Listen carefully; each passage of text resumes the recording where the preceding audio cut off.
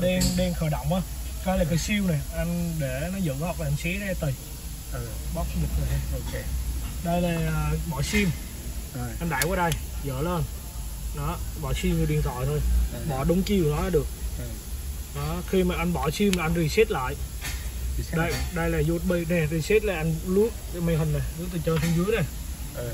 Nó có chữ khởi động lại. Bấm vào đây. Rồi. Xong rồi bấm đồng ý là được rồi còn giờ mình không mình reset rồi khỏi. Còn à, cái đây là cái cái thẻ sim cái mẹ series đó. Ừ. Còn đây là thẻ bảo hành. Đó rồi bỏ ra cho anh. Còn đây là hai cái gắm USB của mình hai đầu gắm USB đấy để làm gì?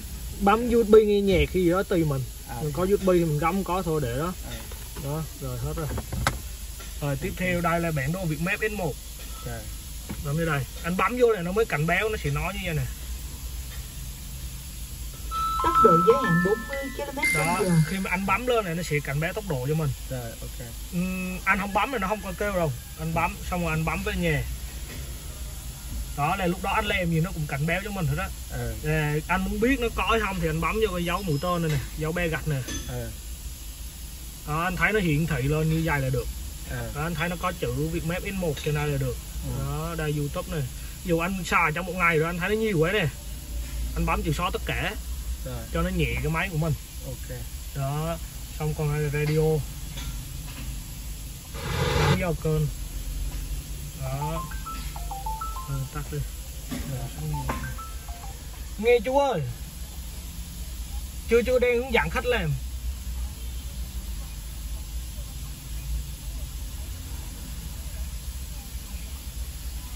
rồi rồi rồi rồi. rồi à, tiếp theo là anh lướt qua đây cái để này lướt qua. Ừ. Để gieo gieo diện chính đó. Ừ. thì chúng ta có Google Maps này ừ.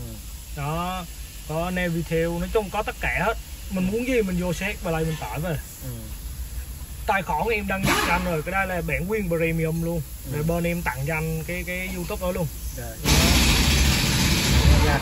Phí đúng không? Đúng rồi đúng rồi để tặng cho anh bình thường cái đó là phải lấy tiền khách nhưng mà khách năm mới thì tụi em tặng.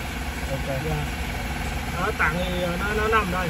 Khi mà anh vô là anh thấy ờ, nó ra bản cái này youtube này. Sim 4G này nó hơi yếu xíu. Đó đây là cái tài khoản bên em đăng nhập này.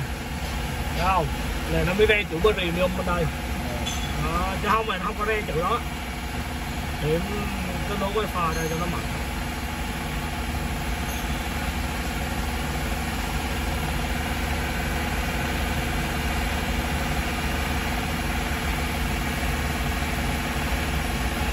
nếu mà không thích xài sim này thì lắp sim khác thôi. Đúng rồi đúng rồi lắp sim Nó khác mạnh rồi. hơn đúng dạ đúng rồi. Còn không thích xài sim này dạ đúng rồi đó nhạc này. Giờ mình chính là bạn có nghe này. Đó không? Mở bản đồ bạn nghe nhạc được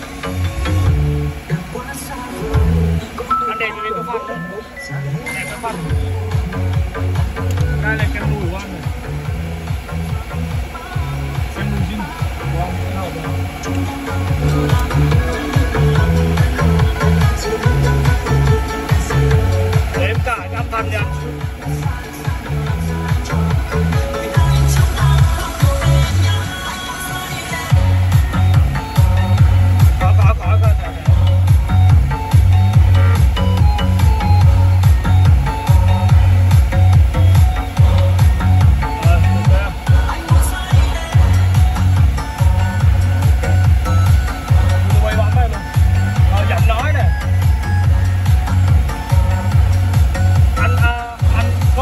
có sim á là anh đọc là mở video.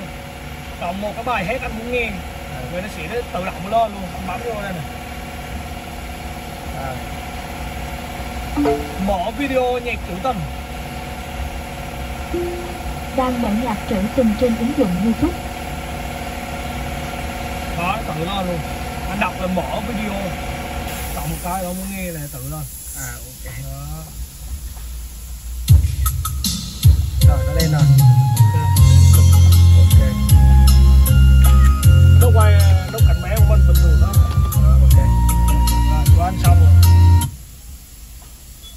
ví dụ mà anh quên cái lệnh á là anh bấm vô anh nè. Ừ. nó có cái, cái hình chấm hỏi. Hướng dẫn nè. Ừ. đó thì nó hướng dẫn mình mấy cái câu lệnh nè. Ừ. mở video nè. Rồi tìm đường thì dẫn đường tới chỗ nào mình muốn đi. Ừ. ví dụ mà anh muốn đi tới chợ Bến Thành anh đọc lại tự lên. À. Đó. Ok. Ok. Đây anh ngồi mò mò nó không ra. À. ừ. nó đơn giản. Ok xong hết rồi đó cảm ơn em nhé. Dạ.